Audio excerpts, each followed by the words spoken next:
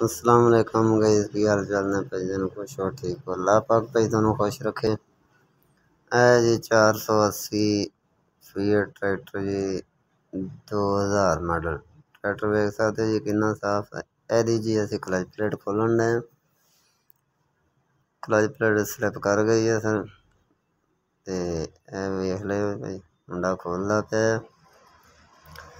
Video में like subscribe लाजमी करना पैजन ਜਾਨ ਇਹ ਵਿਖਾ ਦੀ ਸਰ ਟਰੈਕਟਰ ਦੀ ਕੰਡੀਸ਼ਨ ਸੋਹਣਾ ਟਰੈਕਟਰ ਹੈ ਜੀ, ਮਾਸ਼ਾਅੱਲਾ।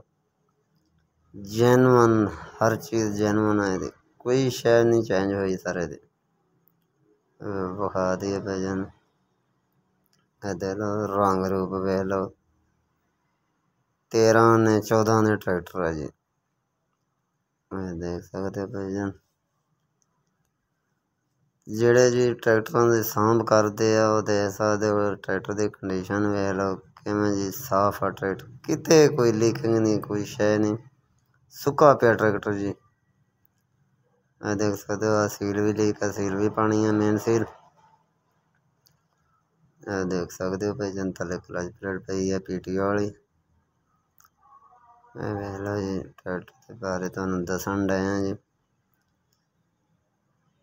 ਕੋਸ਼ਿਸ਼ ਕਰਿਆ ਕਰੋ ਸਾਰੇ ਐਵੇਂ ਟਰੈਕਟਰ ਰੱਖਿਆ ਕਰੋ ਸਾਫ ਸੁਥਰੇ ਸਾਫ ਸੁਥਰੀ ਸ਼ੈ ਬਹੁਤ ਚੰਗੀ ਲੱਗਦੀ ਹੈ ਜੀ ਸ਼ੁਕਰੀਆ ਸਰ